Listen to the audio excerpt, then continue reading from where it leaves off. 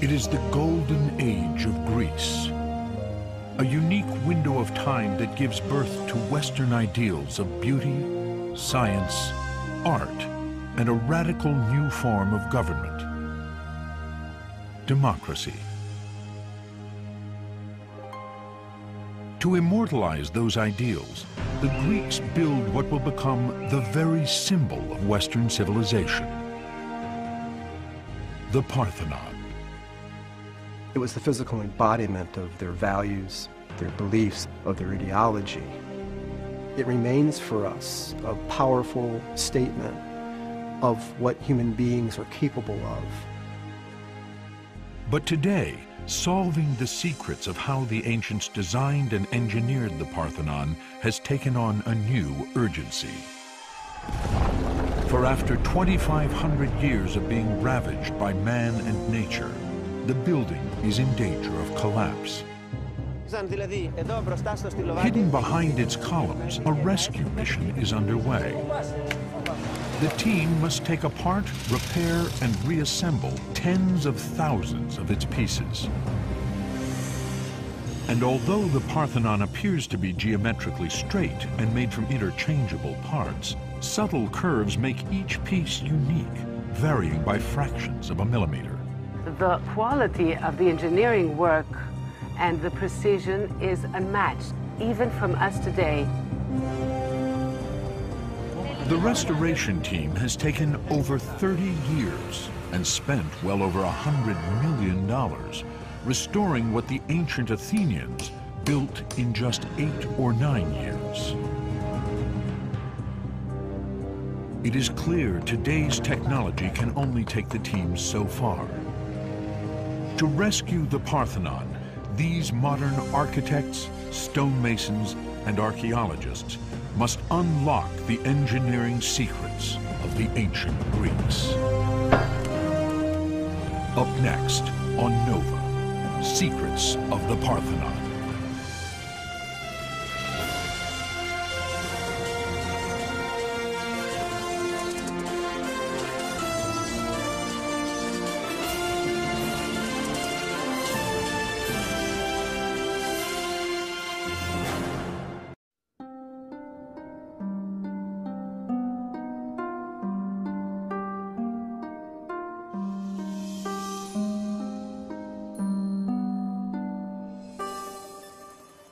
Over the rooftops of modern Athens.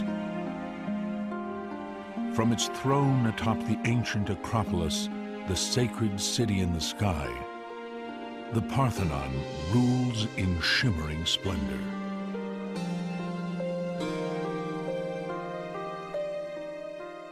Even in its present form, a stark marble ruin, the Parthenon is revered as an icon of Western civilization.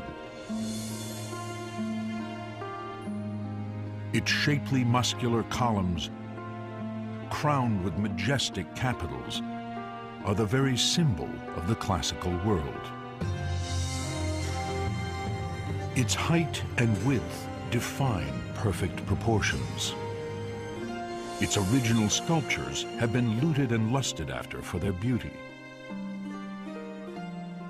And if imitation is the sincerest form of flattery, the Parthenon reigns as the most copied building in the world.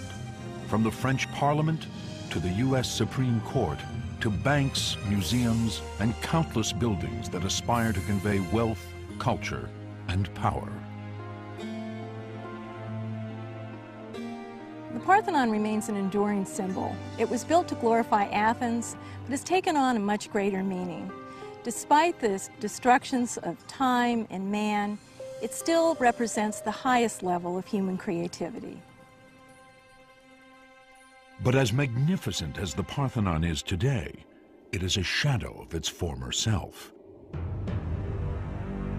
2,500 years ago, the Parthenon was built as the crowning achievement of classical Greece. It towered on the Acropolis at the center of a complex of temples and altars vividly painted and adorned with statues of mortal and immortal greats. The most prominent sculpture stood inside, a 40-foot-high gold and ivory statue of Athena Parthenos, the patron goddess of Athens.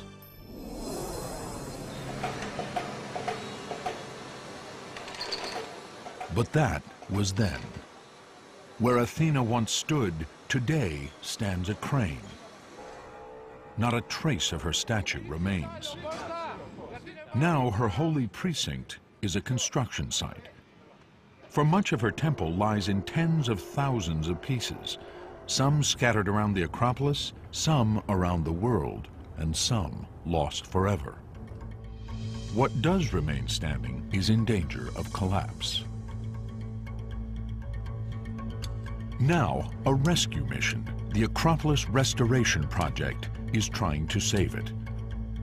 The team, guided by the meticulous investigations of Manolis Korres, has set the bar high, salvaging whatever ancient marble blocks remain in order to create the most faithful restoration. The cost to date is easily over a $100 million. We keep as much as possible of the original material, and we do not damage the asset material. The theory is that we preserve all the original pieces, and we add only a few marble in order to fit them to the general construction. This capital, once atop a column, typifies the struggle they face. It is in six pieces, with many fragments still missing. First, master marble masons need to puzzle together what pieces they can find. Then meticulously recreate what is missing. The block itself weighs 10 tons. It will need to be hoisted to the top of a column consisting of 11 drums, of which many are also fragmented. Together, the drums and capital may have to support up to 100 tons of surviving marble beams and sculpture. But before they can hoist the capital into place, the team must solve a more perplexing problem. On which of the Parthenon's 46 columns does the capital belong? For although the Parthenon may appear to be one giant building kit with interchangeable parts, it's not. The building celebrated as a symbol of beauty and perfect proportions hides an ancient secret.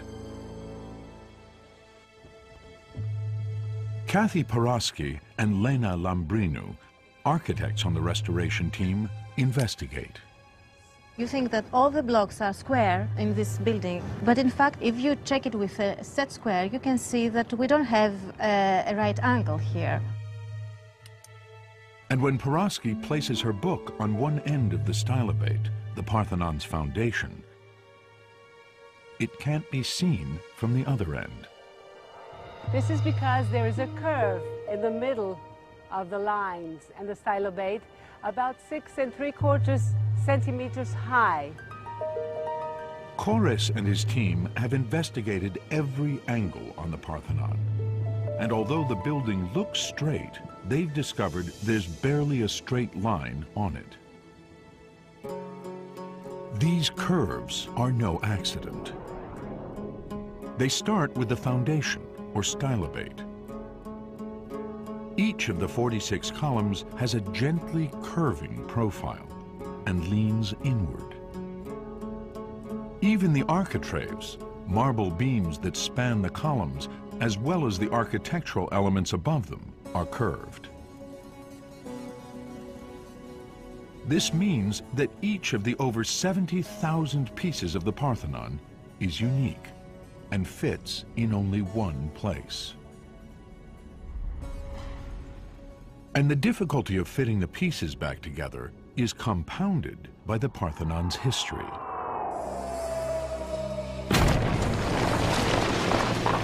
Since it was built in the 5th century BCE, it has been shot at, exploded, set on fire, rocked by earthquakes, converted to a church, then a mosque, and in the 19th century, looted for its magnificent sculptures.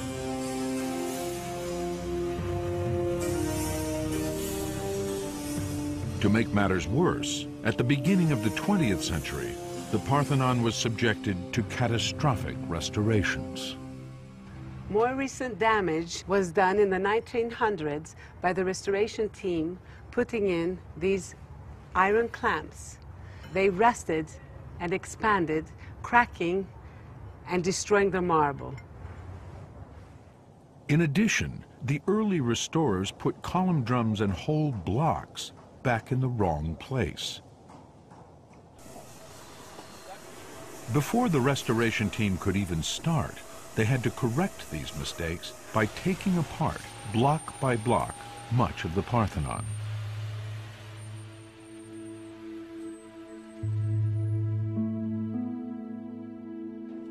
Paraske took on the Herculean task of working out the original positions of 700 scattered blocks from the long inner walls of the temple. Although the blocks seem the same, each block is different. Each one has its own individual unperceivable information, the cuttings, the heights, and we're talking about differences of a tenth of a millimeter here. That's about the thickness of a hair. The team turned to modern technology to assist them. Each stone, like everywhere on the Acropolis, was ID'd and entered into the computer system. As soon as a fragment of marble is found, it takes a number and it is uh, entered in the database. So far we have 5,500 architectural members of the Parthenon. All with detailed descriptions of height, width, slope, corrosion, cracking, stain marks, even graffiti. By mapping these variables, Paraske and the team hoped to reconstruct the two inner walls. We found about 52 criteria we could give maximum to one, uh, one block of the wall. If you measure all the, all the constructive elements, you have about 52 criteria. So we thought, let's try to put it on a computer program to press the button and to see if we have a result. But the puzzle proved too complex. Mathematically it was working, but we didn't have any result. In the end, to put her wall back together, Paraske had to draw each stone onto a card and with the help of detailed measurements, shuffle them around. So the final decision was made by eye. It took five years to identify the position of around 500 of the pieces. It's been over 30 years since the restoration began. The Parthenon is a 20,000 ton, 70,000 piece, three-dimensional jigsaw puzzle. And worse, it's a puzzle that doesn't include instructions. No one has found anything resembling architectural plans. Where are they written, these things? Where are they writing? They have so many papers, we have computers, we have everything. How they are doing and how they communicate, and we're going so quickly in eight years. I cannot understand, I cannot imagine. How did the ancient Athenians build the Parthenon with such precision in less than nine years? And why with these subtle curves and few right angles? How can the modern restorers faithfully repair and reassemble these pieces before air pollution and even earthquakes inflict further damage? To save this masterpiece of Western civilization for the future, Korres and his team of architects, engineers, and marble masons will have to unlock the secrets of the past.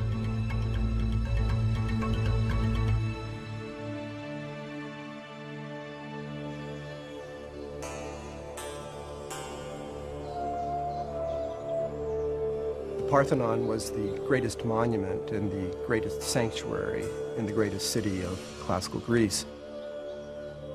It was the central repository of the Athenians' lofty conception of themselves and the physical marble embodiment of their values, their beliefs, their myths, their ideologies. It was as much a temple to Athens and the Athenians as it is to their patron goddess, Athena Parthenos. But just 30 years before it was built, Athens lay in ruins. A victim of Emperor Xerxes, leader of Greece's traditional enemy, Persia.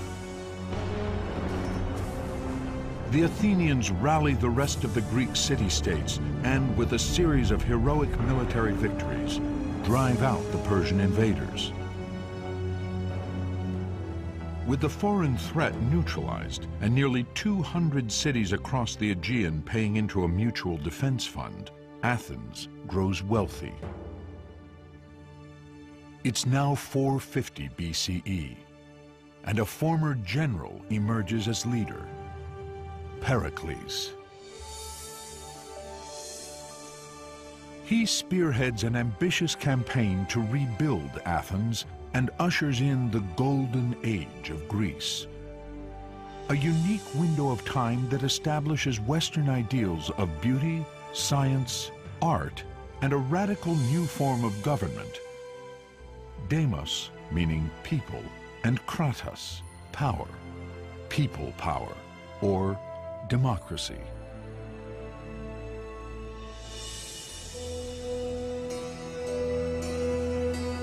This is the area of Athens just beyond the Acropolis where male citizens came to vote.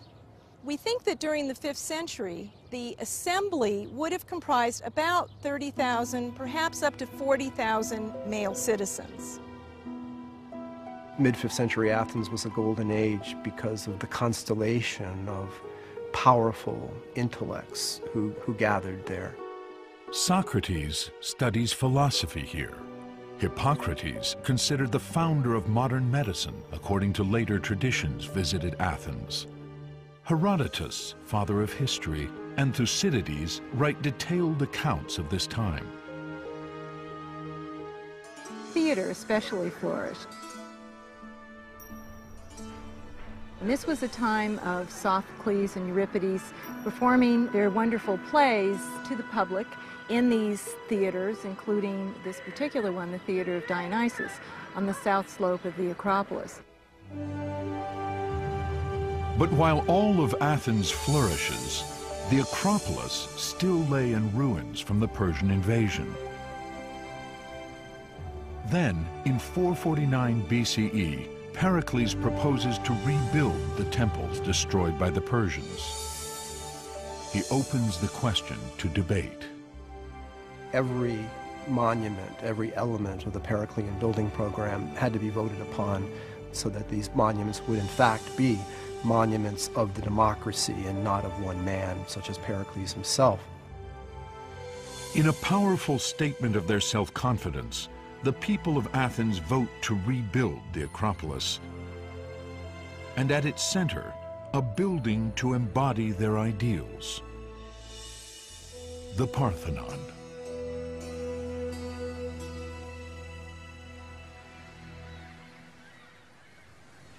The Parthenon would be the largest building in the world constructed entirely of marble. And in tracing the path of that marble lies the first clue as to how it was built.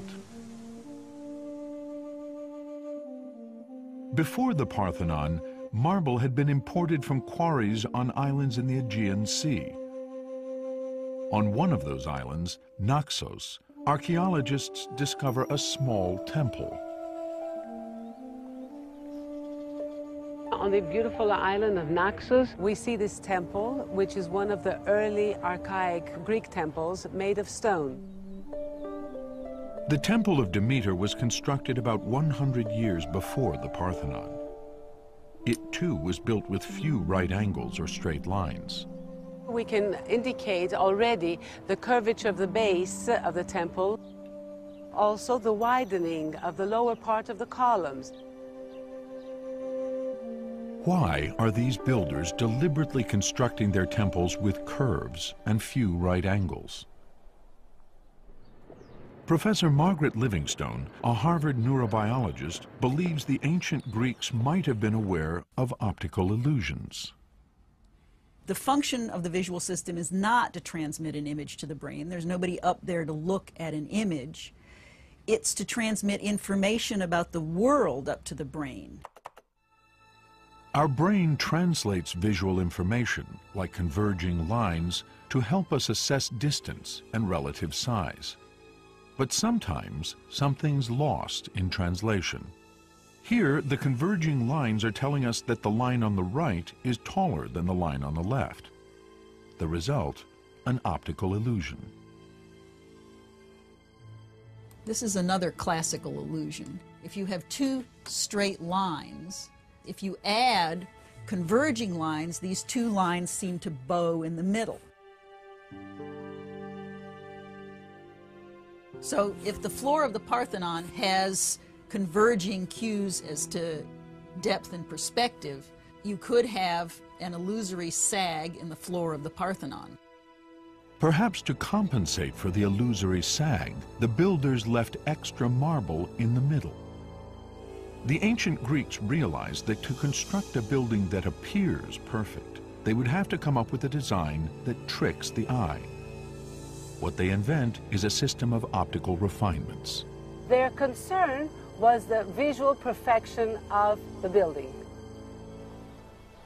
This small stone temple on Naxos provides evidence of the Greeks' keen observation over hundreds of years. Here we can see the first optical refinements already experimented by the people building the temple. Here lies literally the DNA of the Parthenon. But even with the wealth of Periclean Athens, it was too expensive to bring so much marble from the islands to the mainland.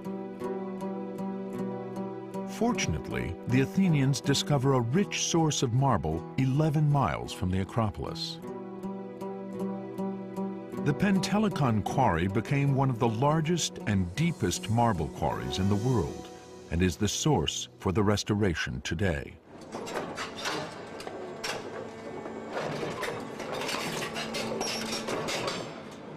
In minutes, diamond-tipped saws cut through the same stone used by the ancients.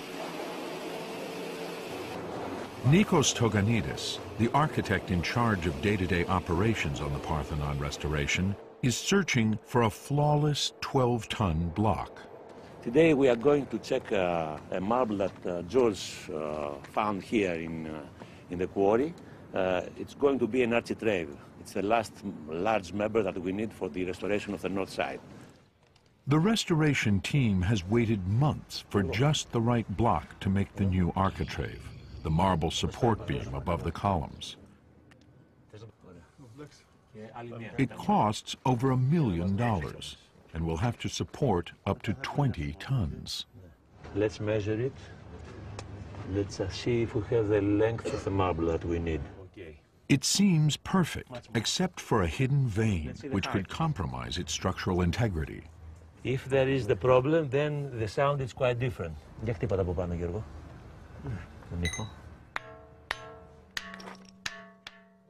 Now it sounds as a bell. So we are going to buy. Giorgo, bravo.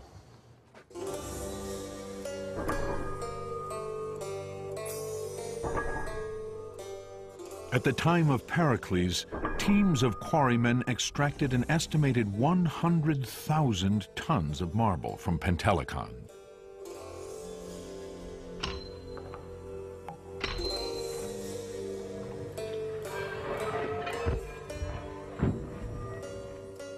The cost of extracting and transporting it, inscribed in part on this stone placard from 434 BCE, was over 400 silver talents, the equivalent of more than 400 of their fully equipped warships. Expenses for the construction of the Parthenon were recorded on stone annually. The uh, stone was actually set up on the Acropolis.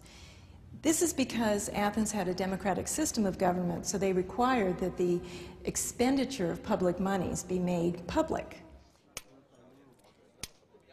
The rest of the construction budget was spent on carving that marble. In that sense, the workplace today, as in ancient times, is less a construction site and more a sculptor's studio. We have, in some cases, to form a new drum from 100 different pieces. That is a very, very difficult work. Here, the restorers recovered a part of an original capital, but were missing the pieces to fit around it. They had to carve them by hand from the newly quarried Pentelic marble. They start by making a plaster cast of a missing piece. Then they use this ancient mason's device called a pantograph to record the three-dimensional shape of the cast and transfer it point by point to the new marble. It's a very traditional technique. Even the Romans were using the same device to copy the sculptures in antiquity. Once a new piece is completed, they can join it with an old.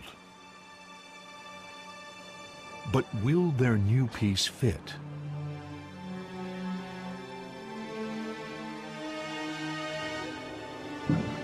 It doesn't. It's just millimeters off. The moderns will borrow a technique used by the ancients for fitting together two new blocks. They coat the inside surface with red clay. In the points that it doesn't fit, it leaves white marks. Where the clay goes white, they have to carve it a little bit more and test it again until they have no marks when they are closing the two pieces. The operation is repeated dozens of times until the new marble exactly matches the ancient broken surface. But even when they succeed, there's still the challenge of fitting the restored pieces precisely back into place. After months of painstaking work, drum number 14192 doesn't quite make it. As you see here, we have a small ancient uh, fragment. We built around it with the new addition. Now we are going to move it and take it down to the workshop. Just a few millimeters of excess new white marble has to be cut from the base at ever so slight an angle to match the precision of the original blocks. These differences of one or two millimeters is just a miracle. You can't believe that you have so small differences. And here lies the Parthenon's central mystery. How did the ancients sculpt it with such precision and speed? ήταν βλέποντας εδώ ένα σπόνδυλο του προνάου, πάνω στον οποίο υπήρχαν αυτές οι γραμμές Etched into the marble itself, Manolis Korres finds a clue. Τι είναι αυτό. Το έχετε δει ποτέ σας. Korres made an extensive study of the relationship between tool marks and the kind of tool and force necessary to produce them.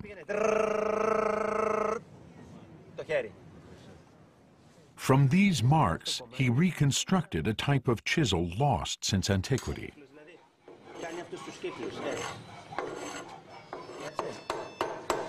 The marks led Korres to identify a range of tools that reflect centuries of expertise in metallurgy, enabling the Greeks to produce sharper and more durable tools than we have today.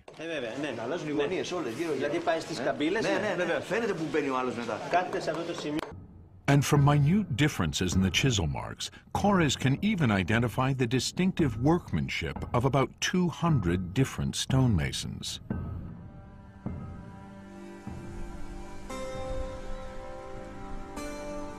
They were recruited from throughout the Greek islands and would have had many different systems of measurement.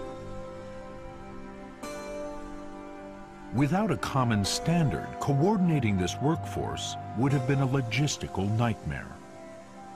How did they do it?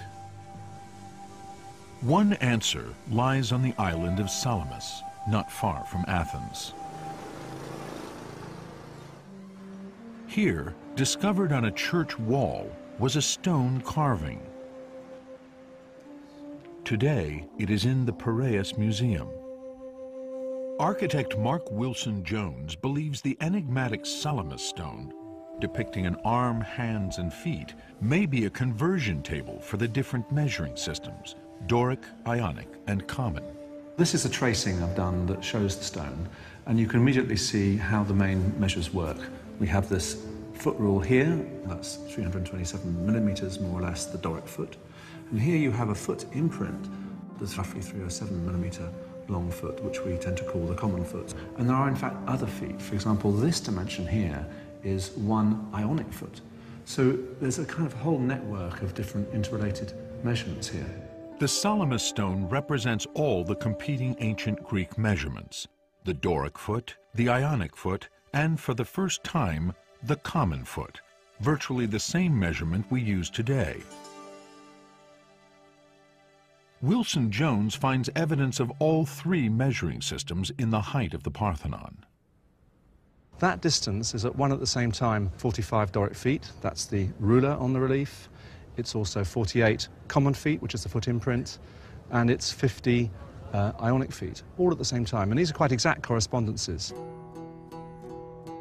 So the Salamis stone may have provided a simple way for ancient workers from different places to calibrate their rulers and cross-reference different units of measurement.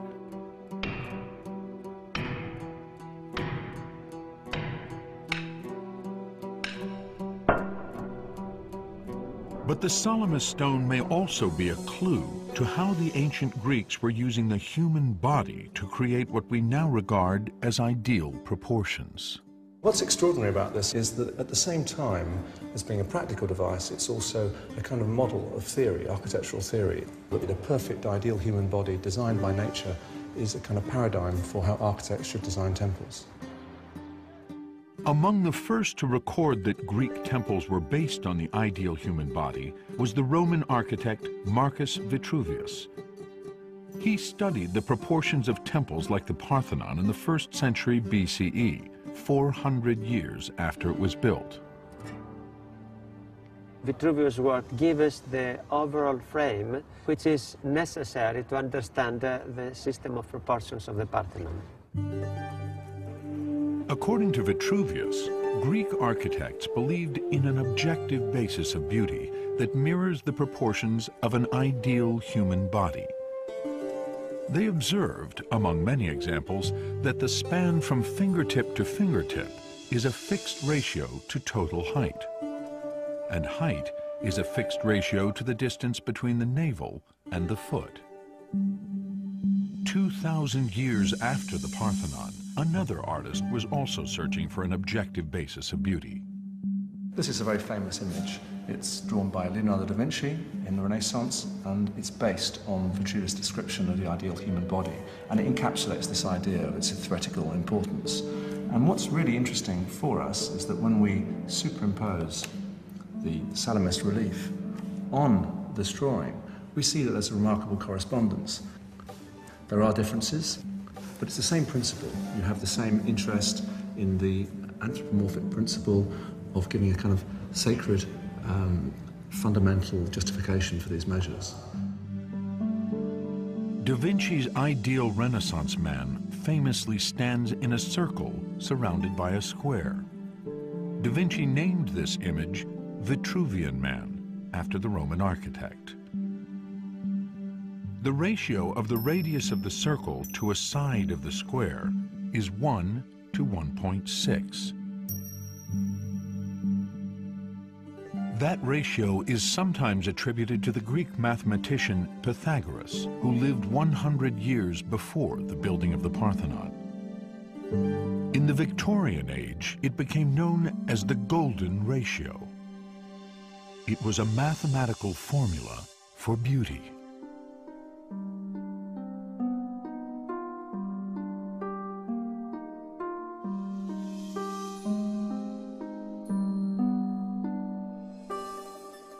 For centuries, many scholars believed the golden ratio gave the Parthenon its tremendous power and perfect proportions. Most notably, the ratio of height to width on its facades is a golden ratio.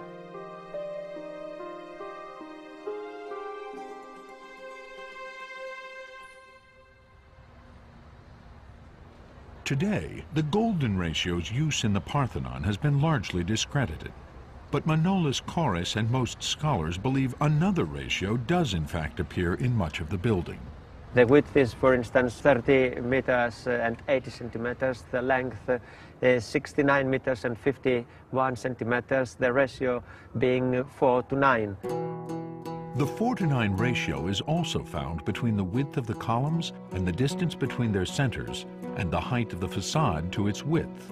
The Parthenon, like a statue, exemplifies a certain symmetry, a certain harmony of part to part and of part to the whole. There's no question that the harmony of the building, which is clearly one of its most visible characteristics, is dependent upon a certain mathematical system of proportions.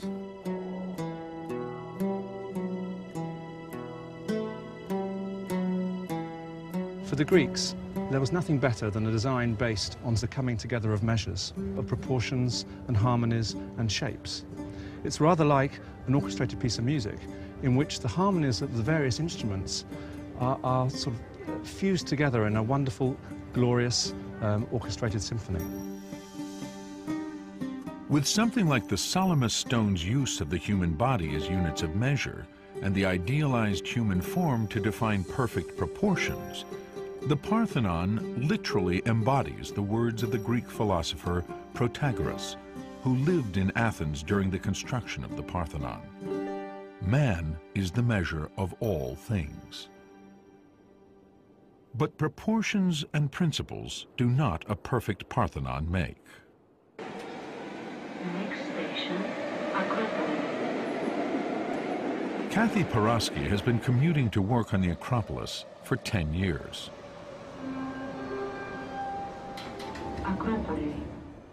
In all her time on the Parthenon restoration team, she's still amazed at one particular achievement of the ancients their precision. We have a joint on the step of the Parthenon, which has been so thin, it's like 1 20th of a, of a millimeter, thinner than a hair.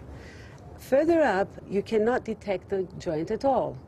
And finally, probably due to an earthquake, a crack starts from one block and continues to the other, and the two behave as one. This is the level of precision that the restorers need to match today. Their reconstructed column drum number 14192 was taken down because its base didn't fit. To achieve the required precision, they use metal smoothing plates, a technique based on ancient stone plates found on the Acropolis.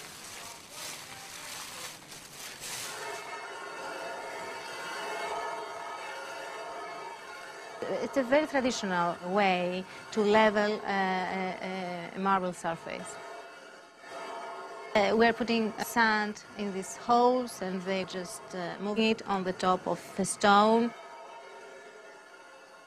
They can make very small differences between the surfaces. Manolis Korres believes the ancient stone sanding plates could grind to 1 20th of a millimeter. But to stack and precisely align the drums presents an additional challenge. Again, the modern restorers uncover an ancient technique when they separate these two column drums for the first time in 2,500 years. The ancients aligned the drums very simply, but again ingeniously. They had this block of wood that they cut in half. The lower part was inserted at the center of the lower drum, flush and perfectly fitted, and the upper part is centered in the upper drum coming down. So when the upper drum is placed, it centers onto this pin. The surface was perfectly connected, and it was so airtight that when we opened the drum, we found this and it's 2,500 years old, intact. The cedar is so well preserved that restorers could still smell the wood put there by Pericles stonemasons. Today, the modern restorers use the same method, but with titanium.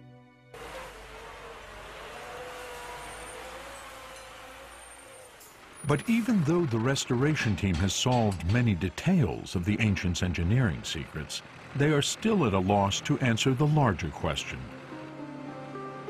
How did the Athenians build the Parthenon with all its subtle curves without an architectural plan? There's a simple problem that to get a plan of this size on a, at, at, a reasonably small dimension that you can grapple with, something like this, which would be around 1 to 50 or so, that would be nowhere near precise enough to deal with all the subtle curvature and the minute adjustments that are also essential for this kind of uh, project. One of the subtlest of these curves can be found on the Parthenon's columns. If we pull a string, we can see that from the middle of the column and up, we can see a curve, a very slight curve. The curve is gentle, starting a little less than halfway up and tapering again near the top. It's an optical refinement called entasis. Entasis means tension. It gives life to the column visually. It resembles an athlete trying to lift the weight, even the deep breath of the swelling of its chest. It is no longer dead stone. It has life in it. It has pulse. These deviations from the straight, from the perfectly vertical, from the perfectly horizontal, are analogous to the curvatures and the swellings and the irregularities of the human body. And in that sense, the Parthenon strikes me as being a sculptural as well as an architectural achievement. The entasis curve on the side of the column is so subtle and so slight, restorers can only draw it by computer. For the ancients to have drawn it at full scale, they would have had to set their compass at an impossible radius of nearly a mile. How they constructed the curved columns was one of the last great riddles left by the ancient Greek temple builders. The answer literally came to light at Didyma, 200 miles from Athens in what is today Turkey. Here, a team of German archaeologists was exploring the ruin of the Temple of Apollo.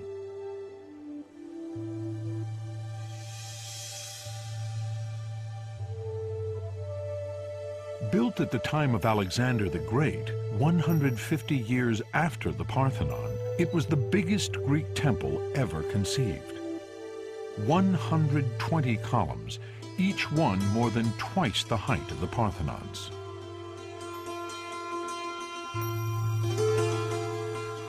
The German team noted an optical refinement, a curvature on the base of the temple, similar to that of the Parthenon.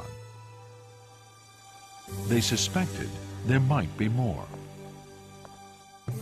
Traversing the tunnel to the temple's sacred inner sanctum, open to the air, Lothar Haselberger waited for his eyes to adjust. Coming out of the darkness of the tunnel into that wide marble hall is a blinding experience. What then, to my surprise, came up were regularly incised horizontal lines, and I found them interesting enough to at least keep them in mind in order to return at a, at a time when everything was under better light conditions. So I was left wondering. At the mercy of the sun, Haselberger would have to wait for just the right time of day for the light to reveal more of the mysterious lines. There's a golden time each day when the sunlight comes just about parallel to the surface it was worth the wait. Coming back, again under better light conditions, it was a kind of revelation because I realized this is a full-sized vertical section of a column, the very one at the front of the temple. At just the right place in the temple of the sun god Apollo, at just the right time of day, he discovered what might be the answer to the riddle. An almost invisible, scaled-down version of the subtle entasis curve of the columns. This template represents a squashed column. Because it is impossible to draw the curve of the column in full size, the Greeks scaled down the height of the column by a factor of 16. Now, they had a curve that could be drawn with a large compass-like instrument. But the genius behind the template is that the width was not scaled down. So each horizontal line is still the radius of a full-scale column. Now, all a stonemason need do is set his compass to any line of the template to get the diameter of any corresponding point on the column. This simple scale drawing was a key reference for the stonemasons at Didyma as they carved one column drum after another. Greek stonemasons were so experienced in creating optical refinements like entasis that they may have been given relatively little guidance. The inscribed template survived at Didyma because the temple was destroyed by an earthquake and remained unfinished. But at the Parthenon, such lines probably disappeared when the walls were polished at the time of completion. The Parthenon was finished the marble surface is smooth and polished, and with it went what we uh, assume uh, were the construction lines of that temple. The modern restorers believe the ancient builders must have had some similar kind of template to produce the subtle curvature on not only the columns, but most of the Parthenon's marble blocks. The key problems are these amazing refinements, the curvature, the inclination, and so on. But once you've got them established, once you know with these blueprints exactly where you're going, then you can proceed down the length of the building and across the front by repetition. So once they get going, they can get going at considerable speed.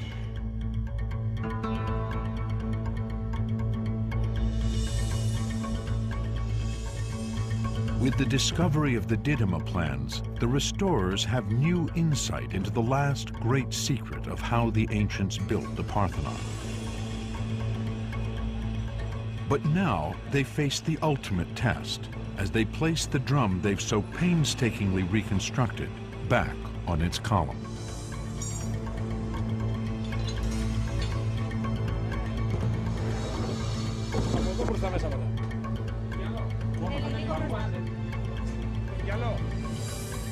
With all its curves and angles, will this new column drum fit?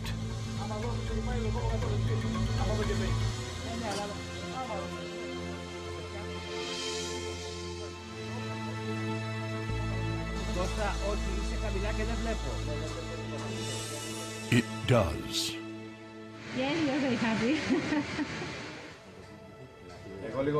The restorers now need only apply a finish sanding to the most distinctive feature of the columns, the fluting. The crowning achievement will come with the placement of this 12-ton capital on top of the column shaft.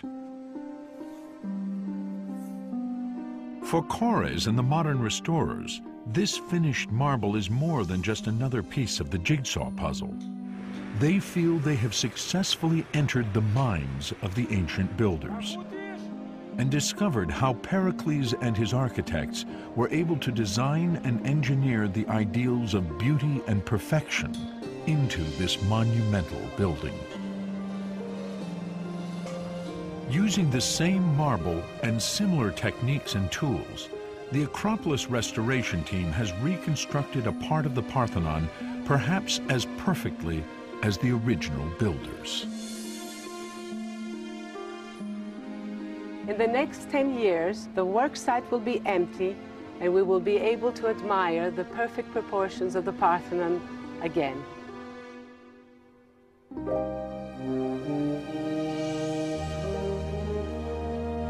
The Parthenon was completed in 432 BCE. As the ultimate expression of Athenian ideals, the temple is adorned with mythological battles of victory. Justice over injustice, civilization defeating barbarity, order prevailing over chaos. And perhaps for the first time on a Greek temple, the Athenians, mere mortals, depict themselves alongside the gods. And so if the human beings, if the Athenians on the Parthenon frieze are elevated near the rank of gods, the gods are represented in a way that makes them human. And the difference between gods and mortals, between Athenians and the Olympians, is not one so much of kind as of degree. This is an extremely humanistic way of representing themselves. But the temple and society that built it would not last. Just one year later, Pericles goes to the citizens of Athens for funds to equip an army against the threat of Sparta. To pay for it, he suggests they could, if necessary, strip the gold from the great statue of Athena. Soon after, Pericles and a third of the city die from the plague. Athens is crushed by the Spartans, who turned the Parthenon into an army barracks. For the next two millennia, the Parthenon would be abused by Romans, barbarians, Christians, Muslims, Turks, with the final insult coming in the 18th and 19th centuries, when Europeans rediscover classical Greece and out of reverence plunder much of its remaining sculptures. The most famous of which, the Elgin marbles, are in the British Museum to this day.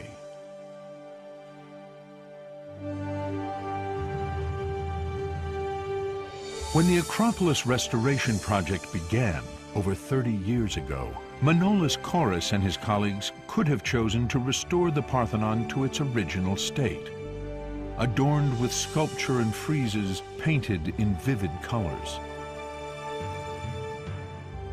Instead, they chose to preserve what has survived these 2,500 years.